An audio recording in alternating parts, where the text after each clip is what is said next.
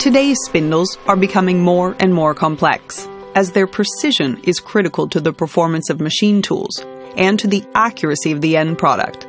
Reliable spindles are a must, so customers get maximum uptime. The way to that performance isn't necessarily a new spindle when the old one starts to show signs of wear and tear. Refurbish of a spindle is about 40 to 50 percent of the price of buying a new one.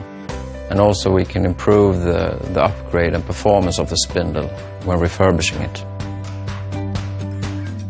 SKF's century of experience in bearings and rotating equipment, plus its global presence within remanufacturing services, is key to big customers within the automotive, aerospace, forestry, and steel industries.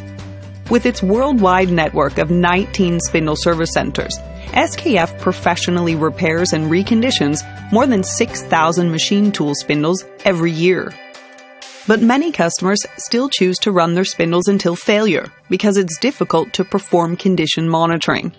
SKF spindle service experts can test the condition of the spindle at the customer and recommend when it's time for remanufacturing. When the spindle arrives here, we dismount it and make uh, a simple root cause analysis of what's gone wrong.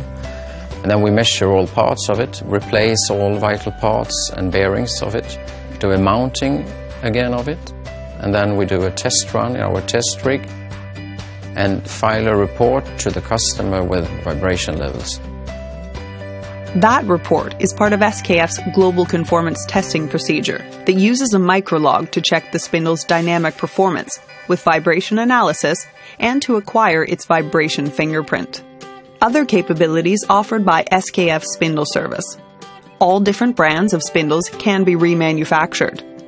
Each spindle is marked with an identification mark, so the history is documented for future remanufacturing. And a spindle hotel is available, where customers' spare spindles are stored and tested in a controlled environment.